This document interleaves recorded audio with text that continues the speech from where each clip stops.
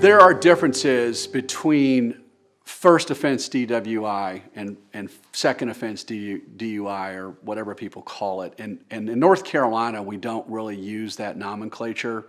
Uh, some states do, and so we have clients say, you know, DWI first, what's my punishment? Or DWI second, what's my punishment? We look at first whether or not the state can prove you guilty beyond a reasonable doubt of driving while impaired. And if they can, this, the court looks at three primary things. First, uh, is what we call is grossly aggravating factors. And there are actually nine of them, but I've distilled it down to about four where have you had a prior DWI in seven years? Were you in a wreck? Were there a serious bodily injury? Was there a child in the car under the age of 18 or someone of a disability in the vehicle? And fourth, was your license revoked at this time due to a prior driving while impaired? So if it's a DWI second, as some people call it, meaning you've had a prior DWI, my question is, well, it's not second as much as it is when was the first. And we go from the conviction date of the first one to the offense date of the second one, the present one you're serving. It gets even more complicated if you're both pending at the same time. Um, I think it's fair to say that if you have any of the grossly aggravating factors, that's serious, um, in, including jail time.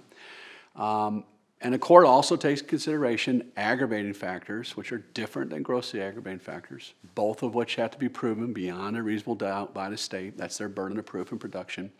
And that may be, there are a bunch of them, there may be that your DWI conviction was outside the seven year window, or um, that you were grossly impaired, which in North Carolina is defined as a 0.15 or higher BAC, blood alcohol concentration, versus what I I draw a distinction between BAC and BRAC just so people understand we're talking about blood tests versus breath, BRAC.